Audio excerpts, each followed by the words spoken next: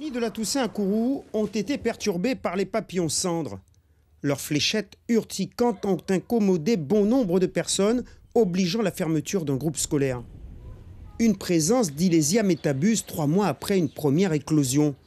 Marina Siminera connaît bien le lépidoptère pour avoir écrit une thèse en 2017. Le papillon va avoir une durée de vie d'une semaine, il va pondre ses œufs et en fait il a un cycle de développement qui passe par sept stades larvaires où les chenilles vont grandir. Les sept stades durent une semaine et ensuite il y a la chrysalide et en fait ça le cycle de développement dure trois mois. C'est ce qui explique qu'on n'a pas eu de papillons entre parce qu'ils étaient au stade chenille, euh, dispersés dans la végétation et en train de grandir. Contrairement aux croyances, le papillon cendre ne se reproduit pas uniquement dans la mangrove. La chenille aime aussi les arbres fruitiers type montbain ou encore goyavier. On recense une trentaine de variétés où l'on peut la trouver pour la détruire. Typiquement, c'est très simple de détruire une plaque de chenille. On utilise de l'eau savonneuse qu'on va disposer sur les chenilles et en fait, ça va boucher les pores respiratoires des chenilles et les tuer.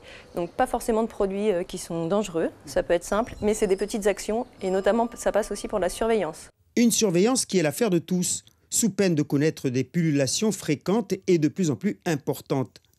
Les communes de Sinamari et Irakubo ont mis des années à se débarrasser du mal.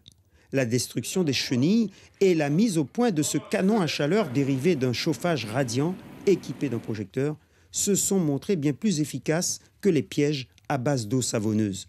C'est un système mobile qui peut se multiplier en fonction du nombre de quartiers, d'épidémies.